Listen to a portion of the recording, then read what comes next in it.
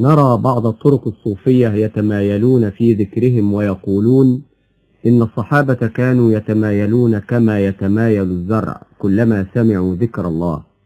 فما وجه الصحة في قولهم؟ يقول الله تعالى إنما المؤمنون الذين إذا ذكر الله وجلت قلوبهم وإذا تليت عليهم آياته زادتهم إيمانا وعلى ربهم يتوكلون.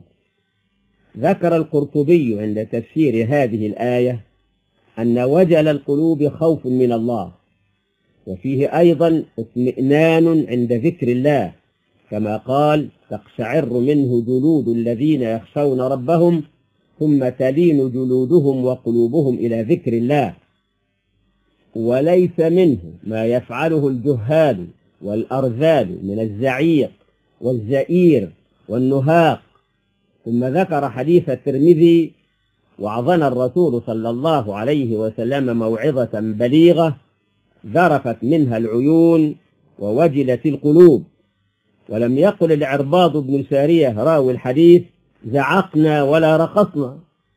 والإمام الغزالي في كتابه الإحياء تحدث عن الوجد والتأثر بالقرآن وذكر الله ولذلك مظاهر إما بكاء وإما تشنج وإما غير ذلك.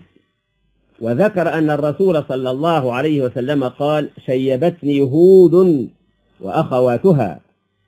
وذكر حديث بكاء الرسول صلى الله عليه وسلم عندما قرأ عليه ابن مسعود فكيف إذا جئنا من كل أمة بشهيد وجئنا بك على هؤلاء شهيدا؟ ثم ذكر بعض نقول عن وجد الصحابة والتابعين عند سماع القرآن فمنهم من صعق ومنهم من غشي عليه ومنهم من مات وكلها أخبار بدون سند يعتمد عليه. ولكن يمكن أن تحدث فالطبيعة البشرية تتأثر بأشياء كثيرة وبعض الشعوب الآن أو بعض الأفراد عندما يسمعون شعرا أو كلاما أو غناء أو موسيقى يتحركون حركات مختلفة إما بهز الرؤوس أو تمايل الجسم أو الرقص أو غير ذلك. فلا مانع أن يكون بعض الصحابة وأن يكون غيرهم قد تحرك جسمه عند سماع آيات من القرآن تؤثر بقوة على وجدانه وأعصابه تقشعر منه جلود الذين يخشون ربهم. وعند قشعريرة الجلد يظهر على الأعصاب أثره وعلى العضلات بأية حركة.